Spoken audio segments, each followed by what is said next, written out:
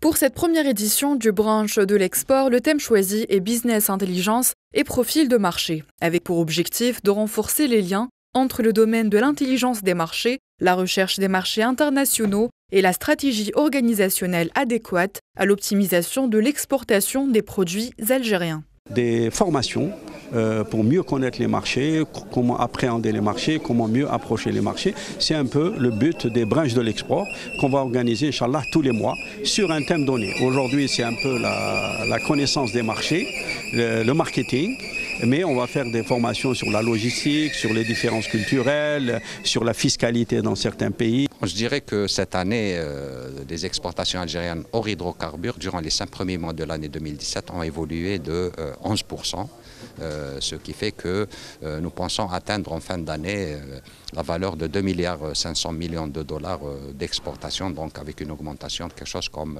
15 à 20% par rapport à l'année passée. Cette formation se base sur une analyse des données commerciales, des conditions d'accès au marché sélectionnés ainsi que leurs besoins. donc on assure la formation Tarek et moi, mon associé, au nom de A2A Consulting and Training. Euh, c'est autour d'un outil en ligne qui s'appelle TradeMap, qui, qui est euh, un outil développé par l'Agence internationale de commerce, l'ITC, et donc qui permet d'établir des profils de marché à travers des données, des indicateurs, des tableaux, des graphes.